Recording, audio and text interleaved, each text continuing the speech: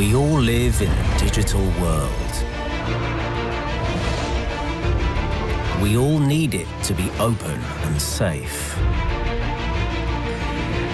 We all want to trust. and to be trusted.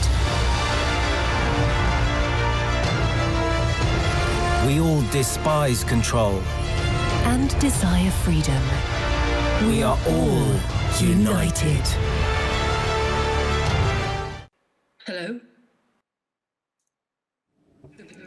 Dzień dobry, czy mnie słychać? Mam nadzieję, że tak. Witam wszystkich. Witamy, czy mnie słychać? Tak, słyszymy się. Cieszę się.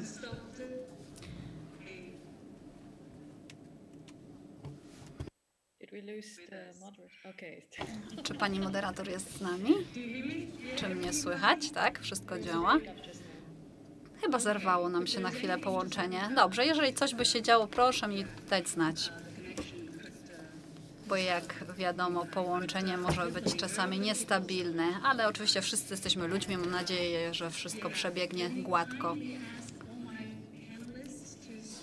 Poproszę panelistów o włączenie kamery, abyśmy mogli sprawdzić, czy wszyscy są na swoich miejscach. Powinno być pięć osób, które będą uczestniczyć w dyskusji online i widzę dwie osoby na miejscu w Katowicach. Wszystko się zgadza. Nie przedłużając zatem, zaczynajmy. Serdecznie witam wszystkich. Tutaj w Pekinie jest środek w nocy. Nazywam się Liu Xin. Reprezentuję chińską globalną sieć telewizyjną. Będziemy mówić o tworzeniu sprawiedliwych warunków zatrudnienia i kompetencji zawodowych przyszłości. Spotykamy się w ramach 16. edycji IGF, szczytu cyfrowego, który odbywa się w Katowicach w Polsce w formule hybrydowej. Niestety nie mogłam dotrzeć do Katowic, ale mamy na szczęście do dyspozycji technologię. A zatem przyszłość pracy, przyszłość zatrudnienia. Mm, Pamiętajmy, że mamy do czynienia z różnymi zmianami, które obserwujemy na rynku. Widzimy, że mamy coraz większe zapotrzebowanie na specjalistów w zakresie informatyki. E, Mamy także do czynienia z rozwojem technologii. E, Widzimy także, że maszyny coraz częściej przejmują część obowiązków e, ludzi. I na przykład moja praca być może kiedyś zniknie, zostaną, zostanę zastąpiona przez automat przez program komputerowy, który będzie prowadził wiadomości e, w formie cyfrowej, prezenterki, która zawsze będzie miała doskonały makijaż. A zatem będziemy teraz mówić o przyszłości pracy, jakie zmiany są konieczne na rynku.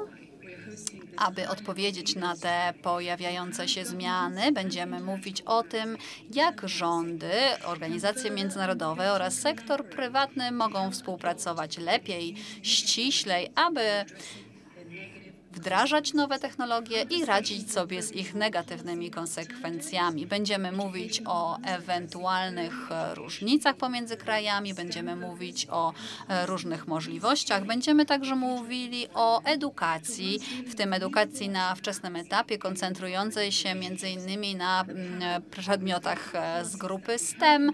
Będziemy też e, mówili o tym, w jaki sposób wytworzone polityki mogą pomagać pracownikom oraz całej, całemu społeczeństwu radzić sobie z tymi przemianami, które stają się naszym udziałem. Mam nadzieję, że nasza dyskusja będzie interesująca dla Państwa, e, zarówno tych, którzy uczestniczą w spotkaniu w Katowicach, jak i tych, którzy śledzą nas online. Proszę mi pozwolić przedstawić naszych panelistów. E, Kto jest już z nami? E, Pani Carmen Ligia Valderrama, minister technologii informacyjnych i komunikacji z Kolumbii. E, Zaraz do nas dołączy. Jest z nami też pan Wojciech Murdzek. Mam nadzieję, że udało mi się to wymówić. Jest to pan sekretarz statu, stanu w Ministerstwie Nauki i Edukacji w Polsce. Mam nadzieję, że dobrze wymówiłam. Proszę mnie poprawić, gdyby e, to było niezrozumiałe.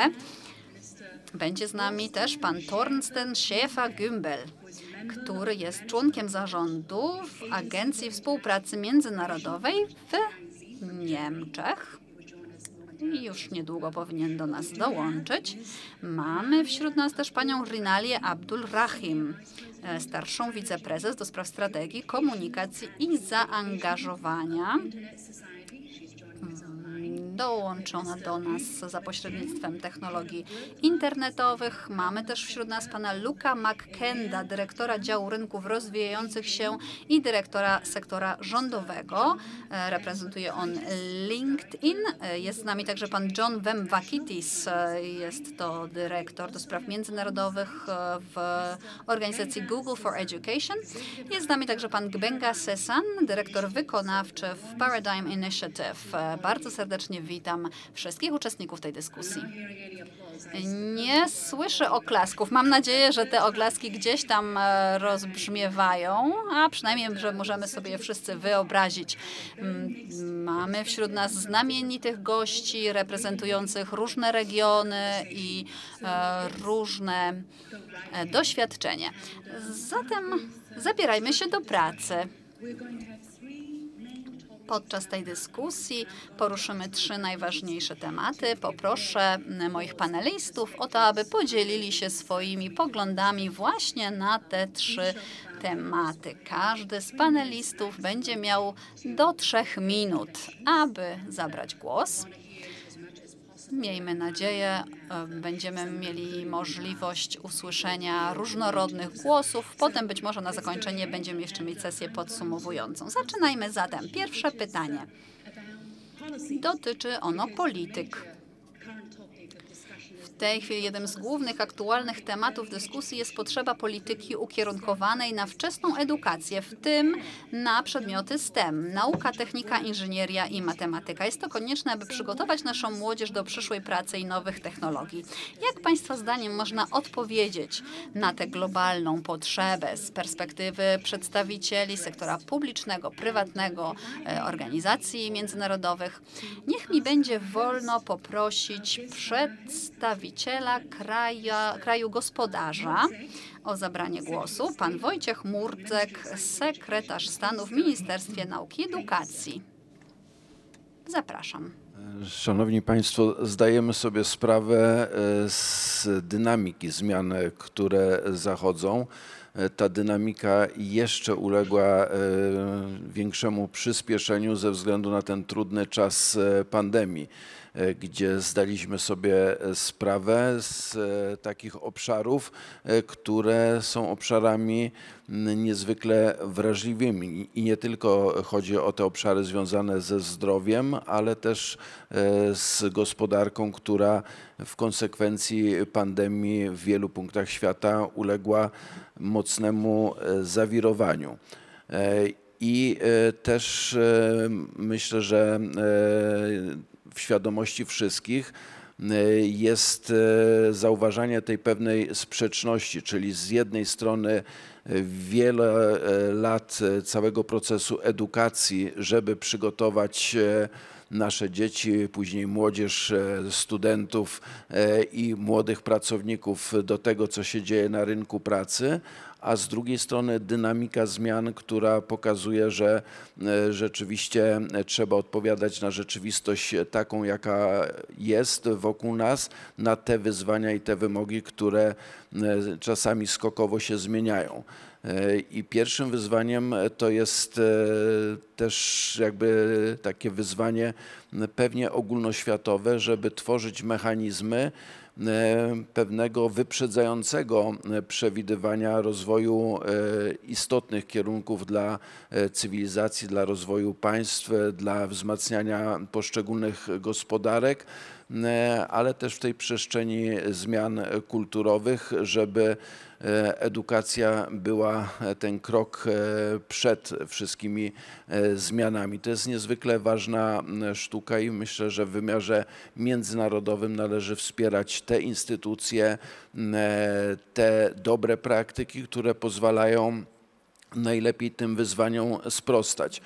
E, zdajemy sobie sprawę, że pewne rzeczy zaczynają się już na bardzo wczesnym etapie. Stąd na przykład w Polsce E, patrząc na e, ten e, plan odbudowy po pandemii, na przykład mamy wpisany trwały element cyfryzacji, ale już nie tylko w szkołach, ale zaczynając od wzmocnienia cyfrowej edukacji poprzez różne formy zabawy, ale na poziomie nawet przedszkoli, nie tylko pierwszych klas szkolnych. E, później oczywiście ten proces jest e, dalej e, ważny, żeby go pilotować już na poziomie szkół i tam rozmawiamy, jak nie tylko wesprzeć poprzez sprzęt, poprzez dobrze przygotowane programy nauczania, ale też robić to biorąc pod uwagę grupę wiekową w sposób atrakcyjny, czyli żeby poprzez zabawę na przykład dzieci E, uczyły się programować e, roboty, które e, są potrzebne w przemyśle zwanym przemysłem 4.0, czasami 5.0. I to musimy robić już dzisiaj, wiedząc, że to są wyzwania cywilizacyjne. Jednocześnie oprócz tej świadomości i szukania tych obszarów wyzwań i uczenia szczególnie w tych obszarach nowych wyzwań, musimy dostosowywać te programy, ale jednocześnie cała infrastruktura powinna temu sprzyjać, czyli już powinniśmy zauważać potrzebę, żeby w programach znalazły się opisy zjawisk wykorzystujących technologię wodorową przykładowo, sztuczną inteligencję, wyjaśniając w przystępny sposób, co to oznacza, ale też zauważając, że młodzież e, e, jest wciągana przez ten świat wirtualny, też pokazywać, że to, co robimy, tego, czego się uczymy, musi mieć przełożenie na ten wymiar świata realnego, e, czyli jeżeli na przykład musimy, myślimy o przemyśle 4.0 i o robotach, to nie tylko o ich programowaniu czy, czy e, aspekcie takim wizualnym, ale zdając sobie sprawę, że trzeba wziąć do ręki jakieś narzędzie, że trzeba przykręcić jakąś e, śrubkę, e, czyli wejść w tą przestrzeń właśnie takiego realizmu. I te pewne tendencje przyzwyczajenia kształtują się e, czasami we wczesnych latach, później mogą być rozwijane, wzmacniane.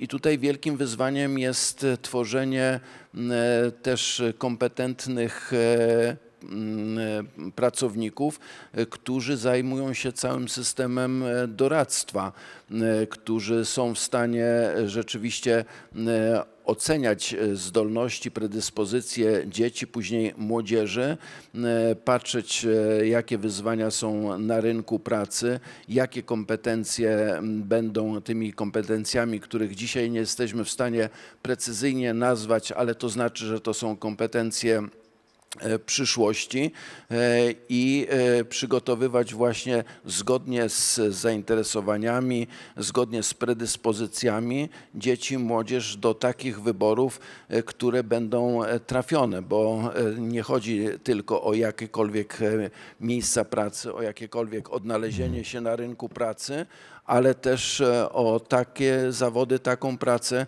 która e, spowoduje przyspieszony rozwój naszych społeczności, ale jednocześnie będzie źródłem takiej zwykłej satysfakcji, poczucia, że się robi rzeczy bardzo e, znaczące, pożyteczne społecznie.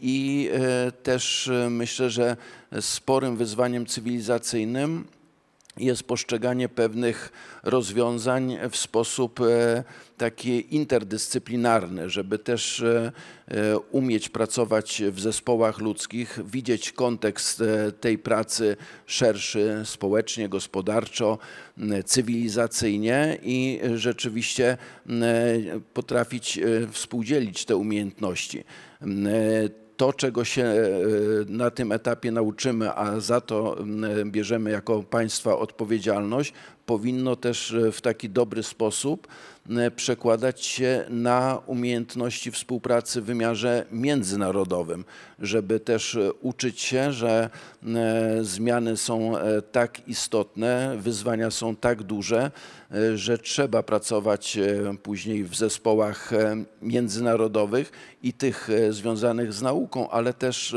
tych związanych z gospodarką. Globalizacja wielu zjawisk e, sprawia, że e, mamy e, wiele wyzwań podobnych. I choćby patrzenie na zrównoważony rozwój, na wyzwania energetyczne, klimatyzacyjne, to pokazuje, że, że musimy w krajach też myśleć w niektórych kategoriach w sposób podobny i tworzyć, tworzyć takie procesy kształcenia, żeby jak najlepiej przygotowywać właśnie do sprostania tym wyzwaniom, ale też poprzez elementy współpracy. Oczywiście środki zaangażowane przez poszczególne państwa, technologia, która powinna, szczególnie nauczyliśmy się wielu rzeczy w tym czasie pandemii, technologia, która cały proces edukacji powinna wspierać. To są e, rzeczy, e, które e, stają jako wyzwania przed nami, ale też myślę, że tutaj współdzielenie dobrych praktyk, wymiana informacji jest niezwykle ważna.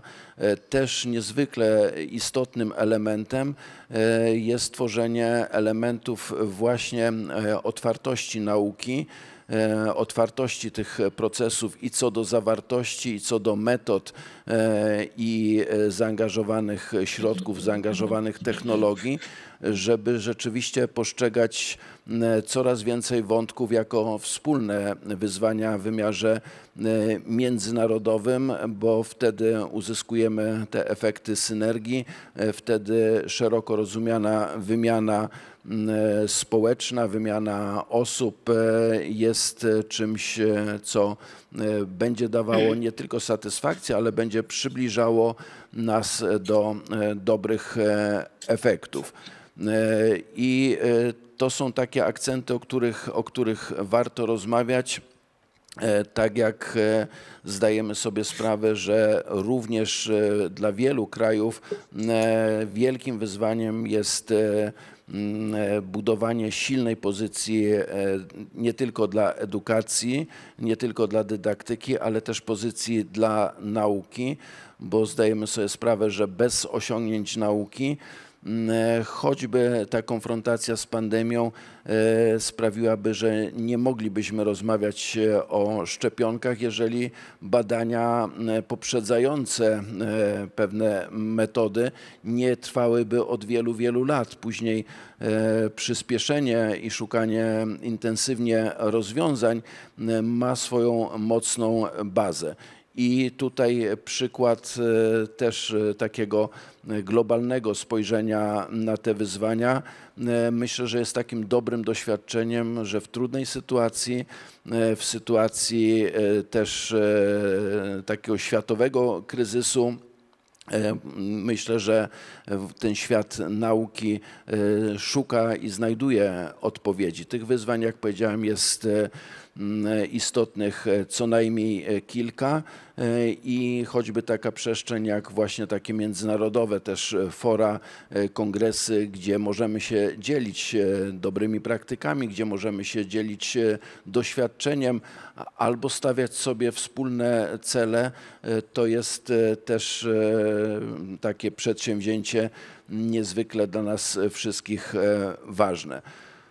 Mam nadzieję, że tego typu spotkania jak e, to w Katowicach, ale też w wymiarze, jak widać i słychać globalnym, łącząc się z całym światem, e, sprawią, że rzeczywiście będzie to taki impuls ożywczy E, dla nas wszystkich, żeby przeglądnąć e, to wszystko, czym dysponujemy, e, tą ofertę poszczególnych państw i właśnie wspierać się, dzielić się dobrymi praktykami, osiągnięciami nauki, bo bez tego rzeczywiście dochodzenie do jakiejś równowagi, do jakichś dobrych rozwiązań może zbyt długo trwać, a dynamika tych wszystkich zmian jest e, wielkim, wielkim wyzwaniem, również e, podołania temu e, w czasie. A ta lista jest rzeczywiście bardzo długa. Dlatego też wspieramy wszelkie programy, już zaczynając, tak jak wspomniałem, od przedszkola poprzez różne formy dotyczące szkół podstawowych, średnich, E, poprzez wspieranie młodych naukowców, studentów, e, doktorantów. E, lista programów rządowych byłaby bardzo długa, to nie chciałbym tutaj jej prezentować, ale szukamy też w tym wszystkim takiego efektu synergii, żeby te wszystkie rozwiązania sprawiały ciągłość w patrzeniu na proces edukacji e, i były takim naturalnym następstwem albo dawały poczucie efektu e, synergii. E, myślę, że, że tyle takiej startowej wypowiedzi. Z zainteresowaniem będę też słuchał kolejnych głosów. Dziękuję bardzo. Bardzo dziękuję. Panie ministrze, bardzo dziękuję za bardzo obszerną odpowiedź na moje pierwsze pytanie. Ja sobie odnotowałam tutaj kilka słów kluczy: celowana edukacja, kształcenie ustawiczne, interdyscyplinarna infrastruktura, y, cyfrowa infrastruktura i tak dalej. Bardzo dziękuję. A teraz z przyjemnością przedstawiam Państwu kolejnych gości, którzy do nas dołączyli. Mamy tutaj z nami panią Carmen Ligie Valderrame, minister do spraw technologii informacyjnych i komunikacji z Kolumbii oraz również dołączył do nas pan Torsten Schäfer-Gümbel, członek zarządu Agencji do Spraw Współpracy Międzynarodowej GIZ z Niemiec. To są nasi paneliści, którzy w międzyczasie dołączyli do nas online. I teraz poproszę już panią Carmen Valderrame o wypowiedź na temat tego, co dzieje się w Kolumbii, w jaki sposób przygotowywane są dzieci od najmłodszych lat do tej zmieniającej się dynamiki w sektorze edukacji. Bardzo prosimy o włączenie mikrofonu.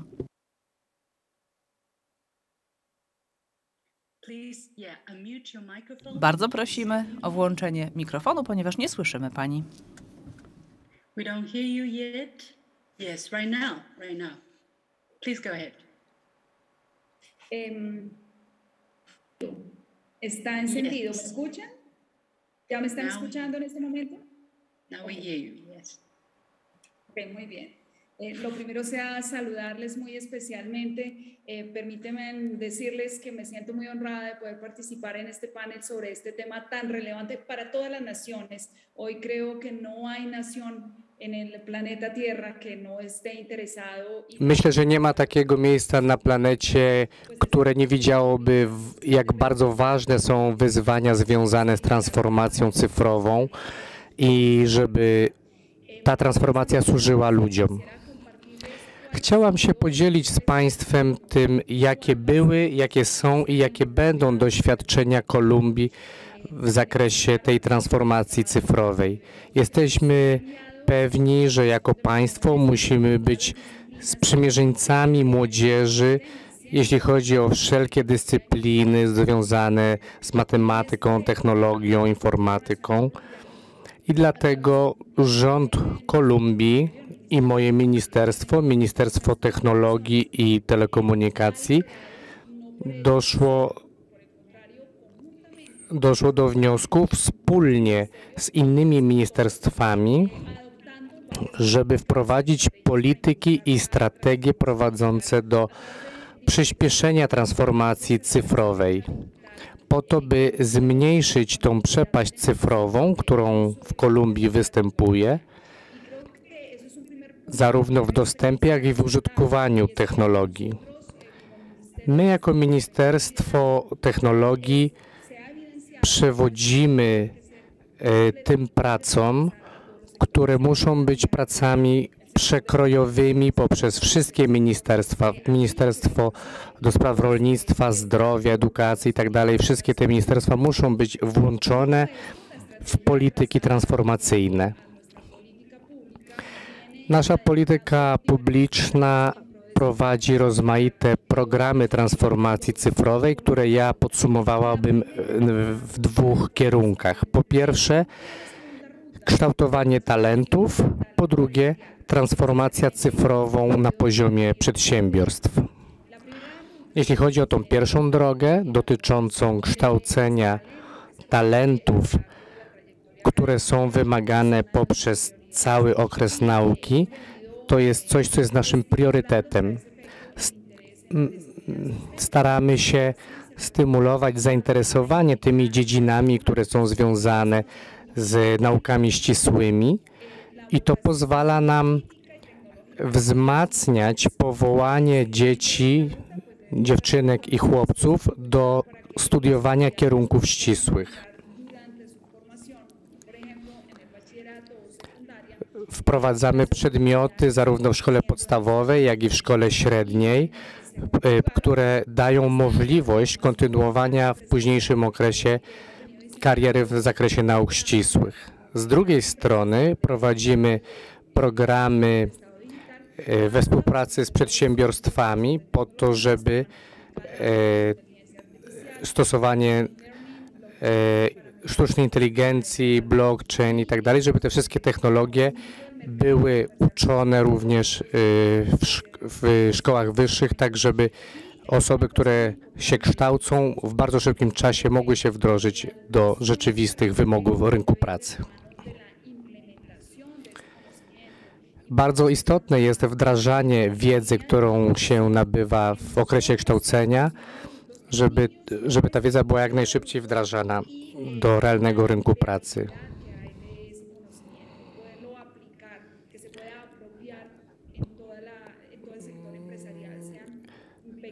Czy to będą małe firmy, czy to będą wielkie przedsiębiorstwa, istnieje olbrzymia potrzeba, nie tylko w Kolumbii, ale na całym świecie, olbrzymia potrzeba kształcenia ludzi, którzy będą mieli wiedzę techniczną, wiedzę w zakresie technologii, informatyki, ponieważ są to osoby, które będą bardzo wspierały rozwój gospodarek.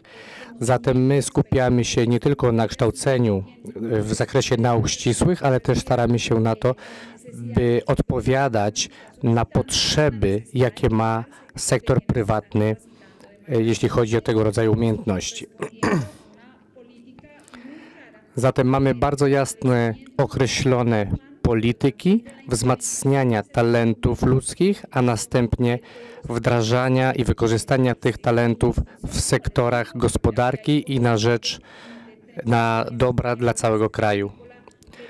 Zarówno w sektorze przemysłu, jak też w sektorze na przykład rolnym, tak żeby młodzież, która się kształci w zakresie nauk ścisłych i, i, cyfrowych, żeby ta młodzież mogła wspierać rozwój sektora rolniczego i mamy już wspaniałe sukcesy w tym zakresie.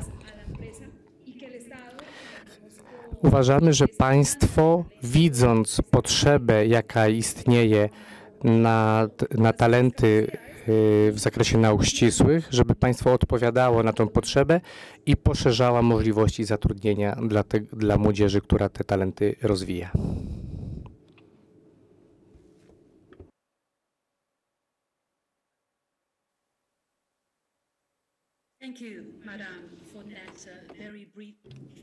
Bardzo dziękuję. Bardzo dziękuję za ten zwięzły komentarz. Widzimy, że Kolumbia rzeczywiście dostrzega ogromną potrzebę transformacji cyfrowej w zakresie edukacji i że Państwo dużą uwagę y, przykuwają do y, kształtowania młodych talentów. A więc bardzo serdecznie dziękuję za tę perspektywę kolumbijską. A teraz chciałabym przekazać głos przedstawicielom różnych międzynarodowych organizacji. Pozwolę sobie w tej chwili przekazać mikrofon pani Rinali Abdul Rahim. Jest to starsza wiceprezes do spraw strategii komunikacji i zaangażowania w organizacji Internet Society. Bardzo serdecznie dziękuję. Dla mnie to ogromna przyjemność, że mogę być tu dziś z Państwem. I chcę powiedzieć rzecz następującą. W najlepszym interesie każdego państwa jest wprowadzenie krajowej polityki promującej celowaną edukację, po to, aby przygotować młodych ludzi na y, przyszłe wyzwania na rynku pracy. Bardzo ważne jest to, żeby te polityki były inkluzywne, żeby promowały dostęp do zasobów edukacyjnych również wśród grup, y, które nie są uprzywilejowane, a więc również wśród y, uczniów mieszkających w obszarach wiejskich, w obszarach dotkniętych ubóstwem. Bardzo ważne są skuteczne mechanizmy, które odnoszą się do nierówności ze względu na płeć, jeśli chodzi o dostęp do edukacji, które wzmacniają dostęp dziewcząt do edukacji w zakresie przedmiotów z grupy STEM. Pandemia COVID-19 pokazała nam, jak bardzo jesteśmy zależni od internetu, jak ważna jest odporność e, środowiska internetowego lekcja, którą odebraliśmy wtedy, kiedy musieliśmy zostać w domu, jest bardzo dobitna. Brak internetu to brak dostępu do pracy, brak dostępu do nauki. W wielu y, państwach wzrost społeczno-gospodarczy został zahamowany. Kiedy mm, przemieszczamy się na drodze w kierunku przyszłości, pamiętajmy, że coraz to większy nacisk będzie kładziony na naukę hybrydową, wykorzystującą usługi cyfrowe i internet ale musimy walczyć z nierównością dostępu do internetu. Wiemy, że niemalże połowa światowej populacji w dalszym ciągu żyje offline. Większość z tych osób to kobiety i większość z nich to kobiety mieszkające w krajach rozwijających się. Jeżeli nie zostaną one podłączone do internetu, musimy zadać sobie pytanie o to, jak będzie wyglądała przyszłość edukacji, jak będzie wyglądała ich praca w przyszłości, a także przyszłość ich dzieci. A więc powszechny dostęp do internetu jest absolutnie konieczny, ale musi to być internet, który nie jest zbyt e, drogi. E, musi to być dostęp do internetu szerokopasmowego. Jeżeli mm, mamy zagwarantować dostęp do edukacji online dla wszystkich. Pięć e, kwestii, które wydają się bardzo ważne, mm, to to, że po pierwsze potrzebne jest zobowiązanie na poziomie rządu centralnego, żeby mm, dostęp do internetu był zagwarantowany. Po drugie, chcę powiedzieć, że potrzebne są też ramy prawne i regulacyjne, y, żeby umożliwić inwestycje dalsze w globalną łączność. Po trzecie, potrzebne są bardzo elastyczne i innowacyjne podejścia do finansowania projektów e, edukacyjnych. Po czwarte, potrzebne są krajowe strategie promowania internetu szerokopasmowego i programy powszechnego dostępu do internetu, które będą obejmowały e, również uczestnictwo instytucji edukacyjnych i krajowych instytucji badawczych. I wreszcie e, różnorodne modele promujące dostęp do internetu są potrzebne. I na koniec chcę powiedzieć, że aby odnieść sukces, musimy koncentrować się na potrzebach edukacyjnych dla y, przyszłych pokoleń, jak również musimy wyrównywać nierówności w dostępie do internetu. Bardzo dziękuję. Ja przygotowując się do tego panelu, naprawdę byłam wstrząśnięta, czytając, że niemalże połowa populacji światowej w dalszym ciągu funkcjonuje offline a większość z tych osób to kobiety mieszkające w krajach rozwijających się, a więc słusznie podkreśliła Pani ten ważny problem. Serdeczne podziękowania składam na ręce Pani Rinali Abdul Rahim, a teraz Pan Luke McKend dyrektor rynków rozwijających się i sektora rządowego na obszar krajów EMEA i latam w LinkedIn. Bardzo dziękuję za zaproszenie mnie do udziału w tym panelu. Trudno jest właściwie w tej chwili powiedzieć coś nowego i całkowicie zgadzam się z tym, co powiedzieli wcześniej paneliści. Może podkreślę jeszcze kilka rzeczy. Wydaje mi się, że ważnym pytaniem z mojej perspektywy byłoby pytanie o to, na jaką przyszłość się przygotowujemy. Bo jeżeli przygotowujemy się na przyszłość wyłącznie technologiczną, to prawdopodobnie bardzo ważne aspekty nam umykają. Oczywiście ważna jest edukacja e, w zakresie przedmiotów z grupy STEM e, i na pewno e, proces cyfryzacji będzie się ciągle rozwijał na przestrzeni kolejnych dekad, ale wydaje mi się, że są jeszcze inne kwestie, które musimy wziąć pod uwagę, a mianowicie tak zwane miękkie umiejętności, które będą nam ciągle bardzo potrzebne. Jeżeli mamy w pełni wykorzystać zasoby cyfrowe, to właśnie miękkie umiejętności będą nam potrzebne. Co mam tutaj na myśli? Myślę, że Mówimy tutaj o tym, w jaki sposób y, skutecznie współpracować, jak uczyć współpracy, jak uczyć rozwiązywania problemów jak rozwijać takie podstawowe umiejętności, które umożliwią dzieciom dnia dzisiejszego um, rozwinięcie się do um, dorosłych osób um, dnia jutrzejszego. Prawdopodobnie najważniejszą umiejętnością, którą będziemy musieli sobie przyswoić, będzie umiejętność dostosowywania się do zmian, tak żebyśmy nabywali istotnych umiejętności, które umożliwiają nam kontynuowanie naszej kariery zawodowej. Jeden z jedno z największych e, e, wyzwań Teraz myślę sobie o tym, kiedy ja rozpoczynałem swoją karierę zawodową, powiedzmy, że 25 lat temu, wiele z e, wiele z nazw stanowisk wówczas w ogóle jeszcze nie istniało. A więc musimy zastanowić się nad tym, jak rozwijać takie systemy edukacyjne, które będą odpowiednio elastyczne, które będą dostosowywać się do zmian zachodzących na rynku pracy. To jest bardzo trudne, i dlatego nie możemy koncentrować się na bardzo wąskim zestawie umiejętności, umiejętności stricte technologicznych, ponieważ równie ważne będą dla nas miękkie umiejętności, które pozwolą nam dostosowywać się do zmian zachodzących w czasie. Wydaje mi się również, że jeszcze stoi przed nami kilka innych wyzwań i tutaj poprzednia prelegentka również do tego się odnosiła a mianowicie kwestia dostępu, ponieważ bardzo dużym wyzwaniem w zakresie systemu e, edukacji jest niewystarczający dostęp młodzieży do e, internetu. Ale pamiętajmy, że sam dostęp do internetu nie jest e, wystarczającym rozwiązaniem. Takim, w takiej gospodarce, która jest dojrzała, E, łatwo jest nam zagwarantować dostęp do internetu, ale na przykład w krajach e, Afryki e, ten poziom mm, uczestnictwa w usługach cyfrowych jest znacznie niższy. A zatem przed nami stoi bardzo wiele różnych wyzwań infrastrukturalnych, żebyśmy mogli zagwarantować faktycznie równy dostęp globalnej społeczności do internetu. To są takie podstawowe wyzwania, które mi w tej chwili przychodzą do głowy. Bardzo dziękuję. Dziękujemy panu Luke'owi McKend.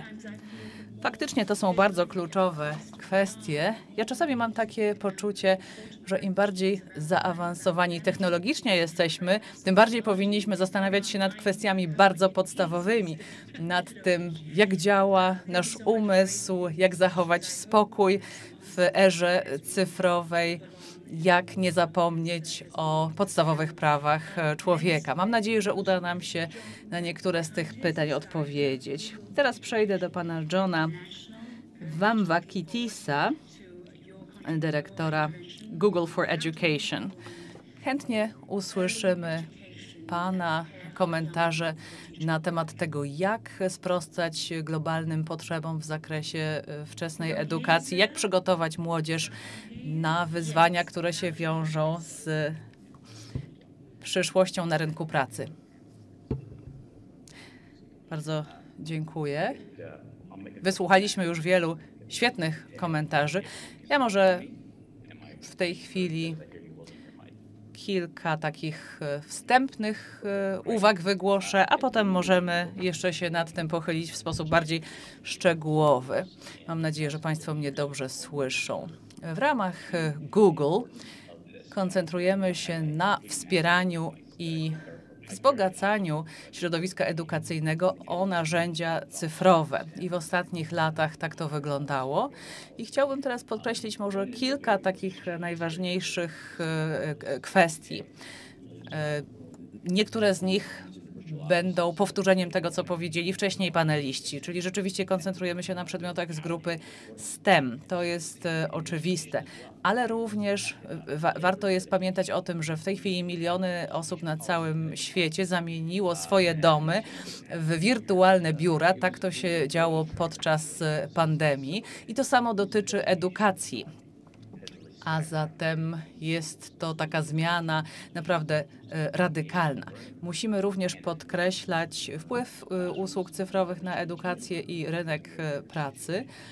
W różnych sytuacjach, w różnych państwach będziemy pewnie kontynuować pracę i studia online i musimy również wspierać tutaj nauczycieli, edukatorów, aby mogli odgrywać bardzo ważną rolę działając w środowisku online. A zatem technologia jest tutaj bardzo ważnym narzędziem, ale nie celem samym w sobie. Pamiętajmy też, że nie jesteśmy w stanie przewidzieć do końca przyszłości. Myślę, że e, niektórzy z panelistów już o tym wspomnieli i dlatego bardzo ważna jest elastyczność. Musimy stawiać na elastyczność, ponieważ nie wiemy, co się wydarzy, nie wiemy, jakie nowe zawody pojawią się na rynku pracy. Nie jesteśmy w stanie w taki sposób przygotować e, młodzież na to, co nadejdzie w przyszłości. Dlatego musimy raczej przygotować ich do tego, aby w sposób elastyczny, potrafili adaptować się do zmieniających się okoliczności. Pamiętajmy też o tym, że środowisko edukacyjne powinno być interaktywne, powinno być ekscytujące i przede wszystkim inkluzywne technologia jest po prostu narzędziem. Zamiast kartki papieru i ołówka w tej chwili posługujemy się technologiami cyfrowymi. I bardzo ważne jest to, żebyśmy mówili o takich e, politykach rządowych, które wspierają dostęp do internetu, które w możliwie największy sposób wykorzystują potencjał transformacji cyfrowej. Myślę, że STEM, y, czyli przedmioty z grupy STEM, takie jak nauka, technika, inżynieria i matematyka, są ważnym elementem tych zmian, ale nie są mm, jedynym i najważniejszym elementem transformacji y, Bądźmy e, szczerzy, musimy przygotować e, w tej chwili e, uczniów i studentów do tego, aby mogli podjąć zatrudnienie w przyszłości. I oczywiście będziemy mówić o rozwoju w zakresie przedmiotów z grupy STEM, technologii cyfrowych i na pewno jest to znakomite źródło nowych umiejętności, ale poza przedmiotami z grupy STEM, jeszcze pozostają bardzo istotne aspekty, które są takimi e, czynnikami napędzającymi sukces, a mianowicie potrzebna jest nam odpowiednia infrastruktura, żeby edukacja online była skuteczna. I pamiętajmy, że musimy tych zmian dokonywać w ramach partnerstwa z różnymi interesariuszami, angażując również e, grupy przedstawicieli nauczycieli, e, ale również angażując organizacje rodzicielskie e, w tworzenie nowego programu nauczania a więc na pewno nie spowolni się wykorzystanie nowych technologii, co oznacza, że wszyscy musimy nauczyć się nowych umiejętności. My bardzo intensywnie pracujemy nad nowymi programami ułatwiającymi pracę nauczycieli i uczniów na platformach online. I chcemy, żeby nauczyciele czuli się pewnie, żeby mieli takie poczucie większej sprawczości, korzystając z technologii. I dlatego to jest bardzo ważne, żeby w tych inicjatywach zaangażowani byli nauczyciele, ci, którzy ten proces edukacyjny prowadzą. Bardzo dziękuję, John. I to również była zupełnie odmienna perspektywa perspektywa dostawcy technologii cyfrowych. Elastyczność tym kontekście, o, których, o którym mówiliśmy, jest bardzo ważna, ale na pewno ważne jest również e, to, co zrobimy w kontekście wzmacniania nauczycieli, którzy będą odpowiedzialni za kształtowanie młodych talentów. Bardzo serdecznie dziękuję, John. I to samo pytanie chciałabym zadać panu Benze Cezan. Benga Cezan jest dyrektorem zarządzającym Paradigm Initiative i będzie mowa o młodzieży w Afryce, młodzieży nieuprzywilejowanej, działającej w tych miejscach na świecie, w których dostęp do edukacji jest ograniczony. Dziękuję. Jeżeli pandemia koronawirusa czegoś nas nauczyła, to jest to fakt, że są dwa rodzaje młodych ludzi. Jeden rodzaj to są, to są tacy młodzi ludzie, którzy wykorzystują nadarzające się możliwości, także związane z nowymi technologiami i uczą się, wykorzystują każdą możliwość, aby po, poprawiać swoje umiejętności, aby być bardziej niezależnymi, jeżeli chodzi o edukację i aby kształtować także i nabywać, nabywać umiejętności miękkie. Z drugiej strony mamy też drugą kategorię młodych ludzi, którzy się nie uczą, ale nie tylko, że się nie uczą nowych rzeczy, ale na, zapominają tego, e, czego się wcześniej nauczyli. A zatem w marcu 2020 roku zamknięto szkoły. E, okazało się, że była cała duża grupa młodych ludzi, którzy zapomnieli tego, czego nauczyli się wcześniej, a więc ta przepaść cyfrowa w ich przypadku jeszcze bardziej się pogłębiła. Pamiętajmy, że to jest przepaść cyfrowa, w ramach której 40% mieszkańców świata to są osoby, które nie mają żadnego dostępu do technologii cyfrowych, a zatem wydaje się, że żyją w zupełnie innym świecie niż ten świat, do którego jesteśmy przyzwyczajeni z natychmiastowym dostępem do informacji i do nowej wiedzy. Myślę, że dlatego właśnie wszelkie polityki, o których tutaj rozmawiamy, rozmawiamy muszą brać pod uwagę dwie kwestie. Po pierwsze, to jest ta rzeczywistość, w której żyjemy obecnie, a zatem oczywiście polityki dotyczące technologii są bardzo ważne, musimy je wdrażać, natomiast musimy zadbać o to, aby te polityki były dostosowane do rzeczywistości, bo bardzo często jest taki rozdźwięk pomiędzy tymi politykami a rzeczywistym światem, bo pamiętajmy, że na przykład wielu uczniów po prostu nie ma dostępu do komputerów. A zatem mamy też e, taki scenariusz, w którym wiele krajów i rządów e, mówiło, że na przykład można korzystać e, z kafejki internetowej, aby się uczyć i po prostu w ten sposób korzystać e, z technologii cyfrowej. Ale to jest niewystarczająco. Cały czas musimy jeszcze poprawiać dostęp do technologii cyfrowych. Oczywiście musimy wziąć pod uwagę, że to ten fakt, że 40% światowej populacji nie ma dostępu do internetu, to jest wyzwanie, które trzeba uwzględnić w tworzonych nowo politykach.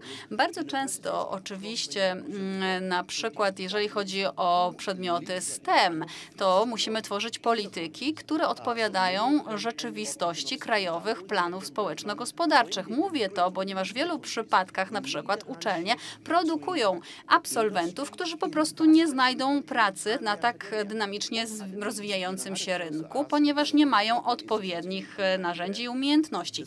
A zatem wymagana jest współpraca pomiędzy rządami, a branżą, a rynkiem pracy, aby określić te umiejętności, które będą konieczne w przyszłości w Nigerii, a także w innych krajach. A więc musimy doskonale zdiagnozować, jakie są potrzeby branży i w jaki sposób uczelnie mogą dostosować swoje programy do tych potrzeb. I wreszcie pragnę powiedzieć, że mamy teraz przed sobą kolejne wyzwanie. Trzeba realizować takie e, projekty, które pomagają e, nabywać te nowe umiejętności, a także wykorzystywać efekt skali, a zatem e, analizować te projekty, które zostały już wdrożone i można pokusić się o to, aby potem przenosić je na swój grunt, aby na przykład także zwiększać skalę danego projektu projektu. Wiele projektów to były projekty, które były skierowane tylko do niewielkiej grupy ludzi, ale możemy sobie wyobrazić sytuację, w której w odpowiednich warunkach te projekty można by realizować e, i skierować do szerszego grona odbiorcy, odbiorców. E, Rzeczywiście bardzo dziękuję. Podkreślił Pan to, że rzeczywistość e, pandemii koronawirusa uwypukliła jeszcze bardziej to wyłączenie cyfrowe. Widzimy, że jest to problem, który nie dotyka tylko Afryki czy krajów rozwijających się, ale także jest to problem krajów rozwiniętych. Na przykład w Szwajcarii e, podczas pandemii nauczyciele skarżyli się, że nie mają komputerów, na których mogliby pracować, z których mogliby prowadzić zajęcia dla dzieci. A zatem to jest e, problem prawdziwie globalny. Można powiedzieć, że e, para, e, pandemia koronawirusa otworzyła nam oczy na to, na tę straszną rzeczywistość i na ten rozdźwięk, który istnieje w obecnym świecie. A zatem, Szanowni Państwo, doszliśmy do końca pierwszej tury pytań w naszej dyskusji i teraz przejdziemy dalej. Będziemy teraz zastanawiać się nad tym, w jaki sposób rządy mogą usprawniać wykorzystywanie nowych technologii ogólnie. Ale nie chodzi tutaj tylko o nauczycieli, o uczniów, ale o wszystkich ludzi, wszystkich członków społeczeństwa. W jaki sposób zapewnić, że wszyscy oni będą nabywać konieczne umiejętności potrzebne do wykorzystywania nowych technologii. Nie zapominajmy na przykład o osobach starszych. Pamiętajmy, że nasze społeczeństwa starzeją się na szeroko, na dużą skalę w Chinach, a także w innych krajach. Zacznijmy od pani Valderrama raz jeszcze. Mamy nadzieję, że jest z nami i zabierze głos. Muy bien, muchas gracias. Em, yo quiero decirles que coincido con em, mis antecesores. Dziękuję bardzo za udzielenie mi głosu. Chciałam powiedzieć, że zgadzam się z tym, co powiedzieli moi przedmówcy. Myślę, że przynajmniej z punktu widzenia Kolumbii nie możemy zapominać o trzech bardzo ważnych rzeczach. Czyli musimy pracować nie tylko nad kwestią łączności, nie, nie, musimy, nie możemy pracować tylko na e, na tym, by dotrzeć z tą łącznością do wszystkich punktów naszego kraju, ale musimy zapewnić, by osoby dorosłe, w tym osoby starsze, e, mogły rzeczywiście z tej łączności czy z tych, z tych systemów komunikacji korzystać, czyli aby umiały wykorzystać te e, narzędzia. W Kolumbii robimy wszystko, aby technologia była wykorzystywana nie tylko w codziennym życiu naszych e, obywateli, ale również chcemy, ażeby usprawniała ich działalność, ich pracę i w ogóle ich życie. W tym kontekście chciałam Państwu powiedzieć, co robimy w Kolumbii na poziomie polityki publicznej, ażeby zaspokoić te konkretne potrzeby naszego społeczeństwa. Realizujemy w Kolumbii wiele projektów, które są skierowane do różnych grup społeczeństwa. Dla kobiet, y, ludzi młodych, przedsiębiorców, czy mamy również y, projekt, który jest dla mnie bardzo ważny i to jest y, projekt skierowany do kobiet, które nie ukończyły żadnej szkoły. Ten projekt polega na tym, aby nauczyć umiejętności cyfrowych osób, które w ogóle z nimi nigdy nie miały nic wspólnego. Technologie powinny y, pomóc mm, właśnie tego typu kobietom.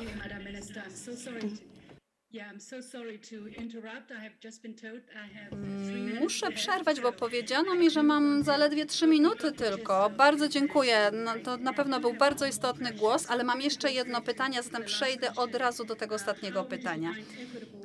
Jak zdefiniowaliby Państwo sprawiedliwe warunki zatrudnienia i gdzie możemy doszukiwać się potencjału zmian?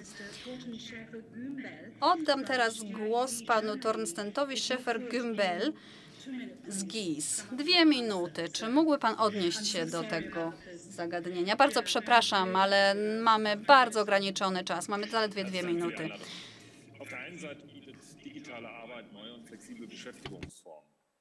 Das digitale Outsourcing und Offshoring kann in erheblichem Umfang Arbeitsplätze schaffen und auch im Bereich des digitalen Unternehmertums äh, bieten sich viele Optionen für Entwicklungsländer, sowohl auf der lokalen als auch auf den internationalen Märkten. Und der Rahmen von IKT-basierten Dienstleistungen mit der Schaffung geeigneter Rahmenbedingungen und gezielten Fördermaßnahmen kann so die Digitalisierung ganz sicher eine wichtige Rolle bei der Beschäftigungsförderung in unseren Partnerländern spielen.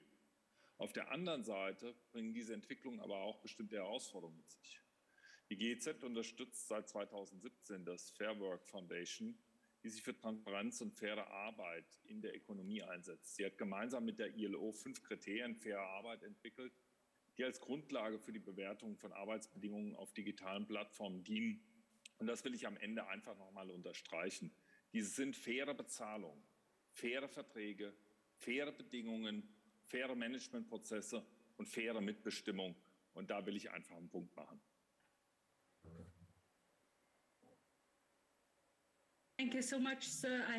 Dziękuję uh, bardzo. Niestety nie było zapewnione tłumaczenie z języka niemieckiego, ale mam na pew- mam pe- pewność, że e, był to bardzo istotny wkład w naszą dyskusję. Um, uh, Na pewno organizatorzy zapewnią tłumaczenie e, pańskiej wypowiedzi. Będzie ona dostępna w internecie. Bardzo przepraszam, mamy niezwykle ograniczony czas. Dziękuję za, to, za ten udział i ten głos. Niestety, nie mamy czasu na więcej. To jest forum e, cyfrowe. Wszyscy musimy się dostosować do tego, że czas jest ograniczony. Nie możemy kontynuować dyskusji w kuluarach, ale miejmy nadzieję, że udało nam się Państwa zainspirować. Gorące brawa dla wszystkich uczestników, bez względu na to, skąd się Państwo z nami łączą. Mm, Naprawdę sama bardzo wiele wyniosłam z tej dyskusji. Dziękuję za możliwość moderowania tej sesji. Mam nadzieję, że w przyszłości będziemy mogli kontynuować tę rozmowę. Raz jeszcze dziękuję bardzo i pozdrowienia z Pekinu. Bye Thanks, bye. Thank you. Thank you very much. Thank you. Dziękujemy. Thank you. I'm sorry about the time. Przepraszam raz jeszcze za ograniczenia czasowe.